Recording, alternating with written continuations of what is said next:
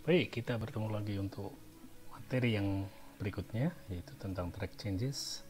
Biasanya ini digunakan untuk di dalam rangka pengkoreksian satu artikel tertentu dan ini bisa digunakan oleh sekaligus beberapa orang yang bisa melakukan koreksi bersama-sama terhadap satu file Microsoft Word. Pertama kita coba kopikan satu artikel di sini. Ini sebagai contoh saja. Kemudian menu yang harus kita klik adalah di menu review. Kemudian yang harus diaktifkan adalah track changes. Di sini diklik diaktifkan. Kalau muncul sampai warnanya terhighlight abu-abu itu tandanya aktif.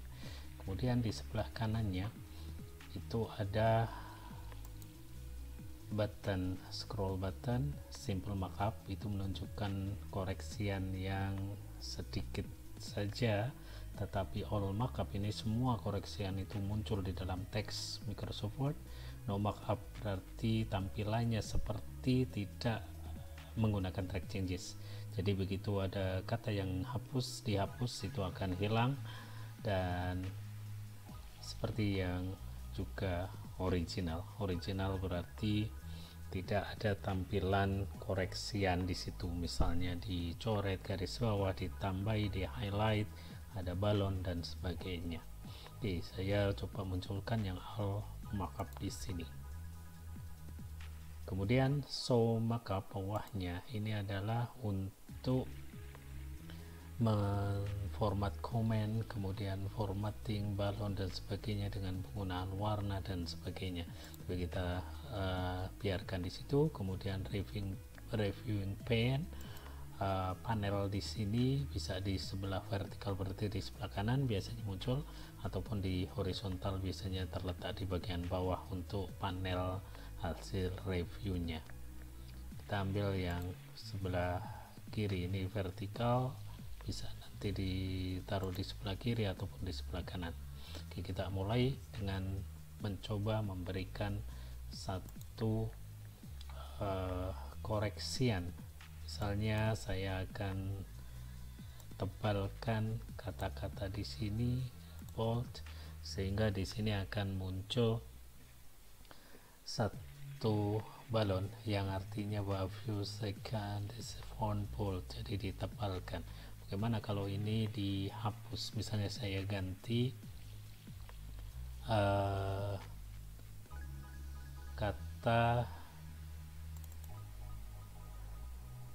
the main. Saya ganti misalnya the primary parameter.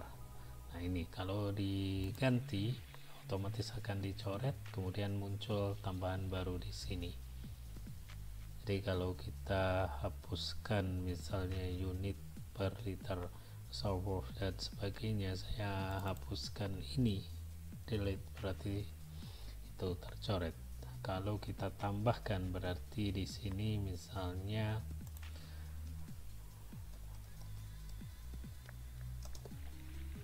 ditambahkan satu kata therefore kemudian dia akan uh, render straight atau garis bawah di sini underline untuk dengan catatan yang merah.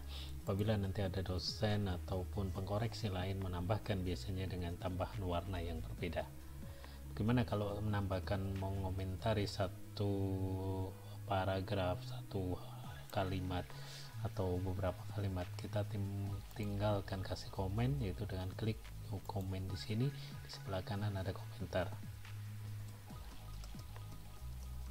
misalnya komentarnya adalah untuk mohon diperbaiki. Dan seterusnya. Termasuk kita bisa merubah formatnya yang bagian bawah di sini. Formatnya bukan uh, format paragraf tetapi seperti ini. Kemudian kita hanya rata sebelah kiri saja. Nanti dia akan muncul format apa saja left, indent, force dan sebagainya semuanya akan terformat di situ. Jadi sangat mudah sekali. Kemudian diklik save. Kemudian karena ini sebagai dokumen yang baru nanti diklik di bagian tertentu. um, oke saya coba save dulu di sini adalah track change artikel. Oke. Nah ini adalah uh, contoh yang hasil dikoreksi ada di sini. Bagaimana kalau misalnya seseorang mendapatkan file yang sudah ada masukan input dan sebagainya dia akan mendapatkan dengan format yang seperti ini uh, bagaimana memperbaikinya? Memperbaikinya uh, kembali ke menu review.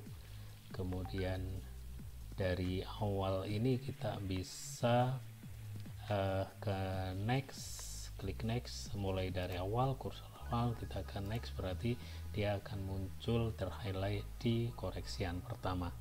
Dan diklik accept diklik di sini itu ada beberapa pilihan uh, accept and move to next. Jadi accept kemudian ke koreksian berikutnya. Uh, accept this change jadi accept untuk satu ini saja.